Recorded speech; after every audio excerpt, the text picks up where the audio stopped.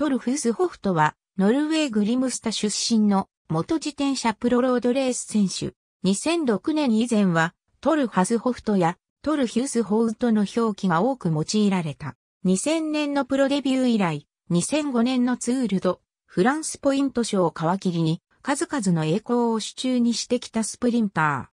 ー。パワフルかつ切れ味鋭いスプリントを見せることから、名前に引っ掛けて、雷神、あるいは、グリムスタの王子の異名で呼ばれる。ウイルスに苦しめられ引退。チームでは、スプリンターとして登録し、実際にスプリンターとして活躍しているが、過去2度のノルウェー選手権、タイムトライアル優勝のほか、アマチュア時代の1998年にも、世界選手権の U-23 タイムトライアル優勝や、2006年のツールドフランスのプロローグの個人タイムトライアル優勝、2008年のパリニースとカタルーニャ一周でのプロローグ優勝などの実績を持ち、短距離ならばタイムトライアルスペシャリストに匹敵する独走力がある。このようなタイプは、ルーラーの素質も持つマリオ・チポリーニ以外には、ほとんどいない。ステージ序盤であれば一級山岳すら単独、または1、2名のアシストで逃げ切れるという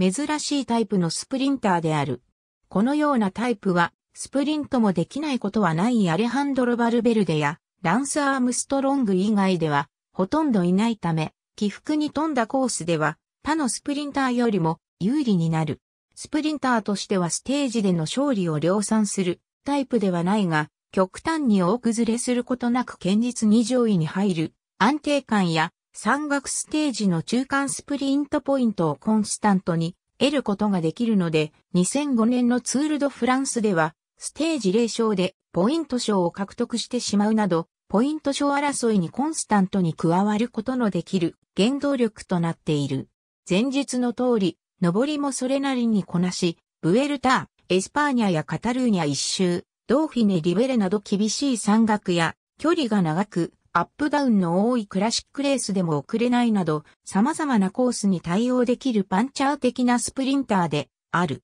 これに加え2001年及び2011年のツールにおいてチームタイムトライアルで、各一章、総ハシューベドの発音から発音ガイドフォーボ、ツールドフランス2009の第17ステージ、最初から逃げ集団に乗り一つ目の一級山岳を通過、二つ目の一級山岳山頂手前の 50km 地点から単独アタック、そのまま二級山岳を越え、一級山岳入り口となる 130km 地点までの 80km を単独で逃げ続けた。地に染まった舞を上量を見せるフースホフト RS の紹介ページ第6ステージのゴールシーンを見ると、ブレーキレバーのトップから横にワイヤーが出ているので7800系と確認できる。ありがとうございます。